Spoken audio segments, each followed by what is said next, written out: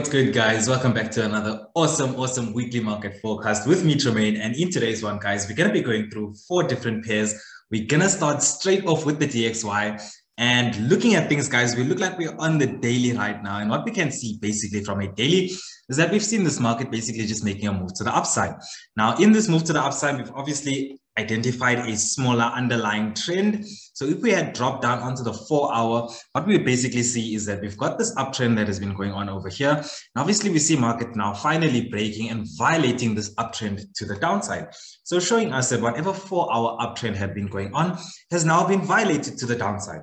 Now, after we've seen this violation of structure, what we basically see is prices taking a very long time to move away from this area so entering some sort of a bigger, larger corrective structure. So what we've simply done for ourselves, guys, is that we've just highlighted the key important resistance areas. So that resistance, this resistance up here, and obviously our extreme resistance right at the top there.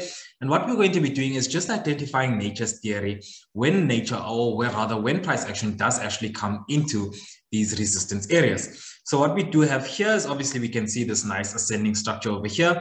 We've got our resistance areas over here. So obviously we need to wait for prices to come to these resistance areas and then obviously show us some sort of a reaction. And once we see that reaction, then we'll obviously be able to see whether we should be looking for that risk entry or that reduced risk entry, regardless of whether prices reject from here, whether prices reject from here, or whether prices reject from up top. Guys, I am still bearish bias on the DXY. Obviously, I understand that prices have entered some sort of a consolidation and we are taking a while to kind of develop and get away from this, this consolidation. But what I'm going to do, guys, is I am going to exercise patience. And that's what you guys are going to notice about a lot of the pairs that we're having a look at today. A lot of the pairs, guys, I guess it is December. So a lot of these pairs are just doing very awkward things. A lot of these pairs are kind of ranging, but we are still trying to look for those trading opportunities. So bearish bias, guys, for the DXY over the course of next week. Let's get into one of the pairs that we're going to be having a look at, and that is our Aussie CAD. So let's just go up to a daily. So guys, Aussie CAD, what we do have here is obviously this momentum to the upside. And what we can see, what I have isolated is some sort of a corrective structure. So now what I've done is I've accommodated for my extreme resistance areas over there, obviously drawn that nice resistance trend line. And then also my extreme support. So we've got lows over here, which are our next lows, is these lows over here. And we can see that prices are right now giving us a nice, beautiful uh, touch of our descending structure. So what we can see is that we are at some, I guess, some support structures over there.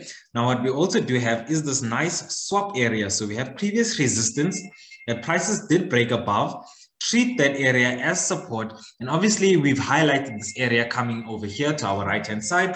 So we can obviously manage our bias and manage this um, trade. So what we can see is obviously that we've on a four hour isolated another descending structure and we've broken below at the third touch of the structure because we had our first touch in this area here, second touch over here. And at this third touch of price, we see prices violating our descending structure. So what we're going to be waiting for guys on our um, Aussie CAD, and I guess it's just one of those pairs that's gonna might that might require some patience from us. But nonetheless, guys, we know that patience pays in the market. So guys, you can see that we've broken below our trend line and as well as our horizontal support. What we can be waiting for from price action is to see price action, first of all, breaking back into our structure. And once we see prices breaking back into our structure, we wait for that nature in price action that does then confirm our bullish momentum. And obviously, once we've seen our nice, beautiful corrective structure, indicating to us that yes, we can be looking for those bullish bias trading opportunities because momentum is starting to slow down to the downside. Guys, once we find this nice, beautiful corrective structure after we've broken back into our structure, we can now resume our bullish trend. So what we're doing here on Aussie CAD is just be simply just waiting for price action to then align with the structure and as well as the directional bias and obviously our understanding that we have of what the market is doing. All we're waiting for is we're waiting for price action to then obviously align in that direction. And once we see price action aligning, then we can obviously take that bullish setup. So guys, Aussie CAD, bullish bias over the course of next week. We'll go on to some Swiss yen. So on Swiss yen, guys, we have a nice, another nice, beautiful bullish bias. I've still got an arrow over there showing what the analysis is. But if we look at our higher time frame analysis, just to give you guys some context as to what's going on. So daily, we're in this ascending structure to the upside. We do understand that higher time frame prices do have the potential to break this ascending structure to the downside. Now, on a four hour, or even if we just zoom closely into our daily structure, what we have here is obviously previous resistance in this area over here. We see prices breaking above nice and impulsively, and we then obviously see prices correcting towards this previous resistance. Now, obviously, nature in price action would then allow us to look for those bullish buy setups. So that's exactly what we're looking for, guys. We're looking for those bullish buy setups.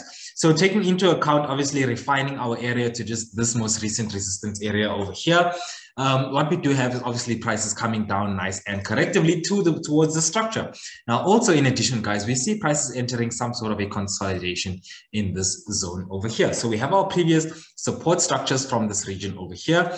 We see prices breaking below those support structures, and obviously we find them respecting it as resistance a couple of times.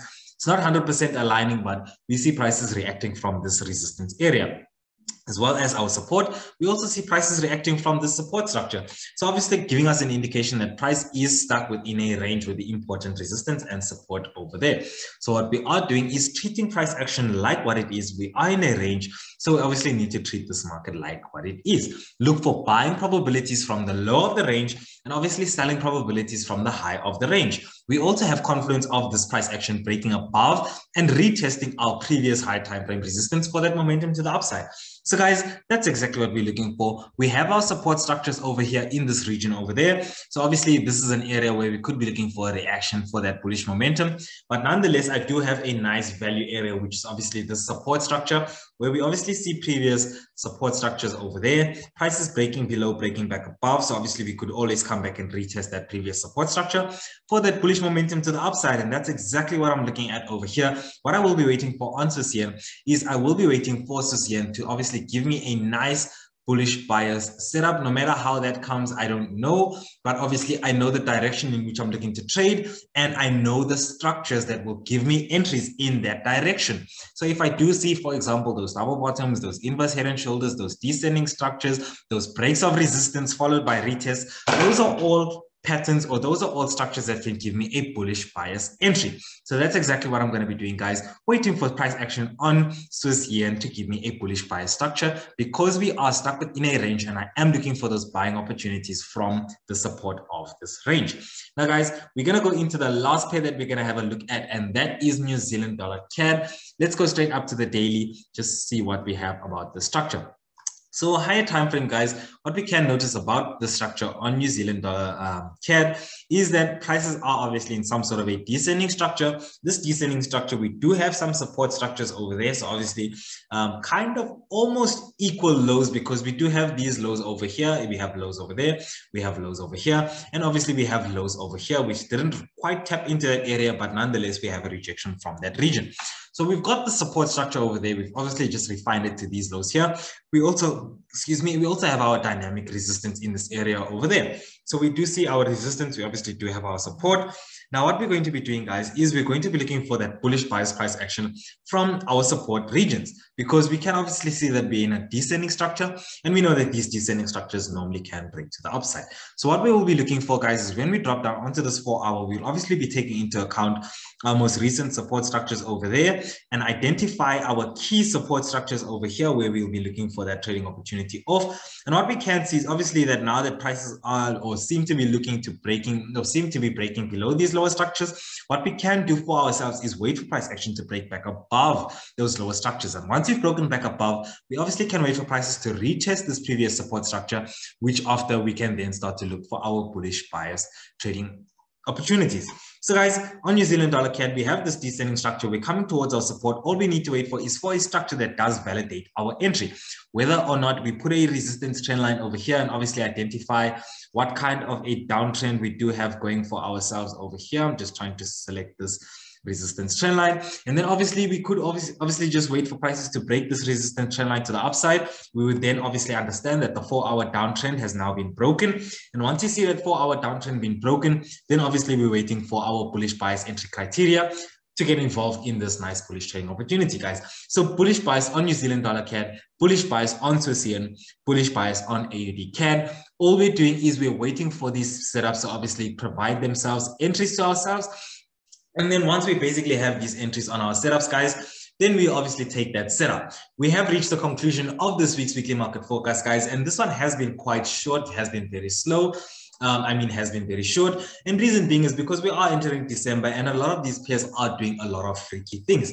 So if anything, a tip for you guys over the course of this month, the rest of this month is kind of be very slow to take those risk entries and wait as much as you can for these confluences to align in your direction because there's a lot of opportunity and there's a lot of weird things going on in the market right now. Like over the course of last week, we saw a lot of beautiful structures being complete, but there has been a lot of volatility, abnormal amounts of volatility happening in the markets and obviously these manipulations and all of these other things. And so you want to slow it down and you kind of don't want to involve yourself in an entry or in a setup that's going to give you less probabilities of actually hitting your TP than usual. So guys, in this last month, basically let's wait for our setups to kind of mature enough and for those probabilities to align because we understand that patience does pay in this game. So otherwise, guys, this is Tramayne, FX Chasers Mentor. Thanks so much, guys, for watching until the end of the video. Do drop a like if you have enjoyed the content. Otherwise, definitely do subscribe if it's your first time on the channel or if you have not subscribed and you have reached the end of this video, it means you did get some value. So definitely do subscribe so that you don't miss any of the future videos. Otherwise, we'll see you guys in the future ones. Thanks, guys. Cheers.